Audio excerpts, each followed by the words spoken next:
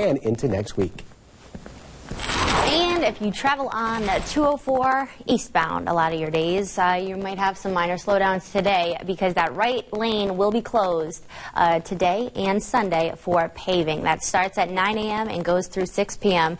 Um, on Pine Grove Road to Southwest Bypass. So just be aware of that. Give yourself a little extra time if you plan to head that way. Your 21 southbound live drive times look okay for this time of the morning, especially for a Friday morning commute. Uh, so that's a win right there. 9th Street to Goshen Road is going to take eight minutes. This is where it looks good for this time. We're usually seeing it about 10 minutes slower. So Goshen Road to 95, that's only going to take you 10 minutes. And 95 to 516 will take you 12 minutes.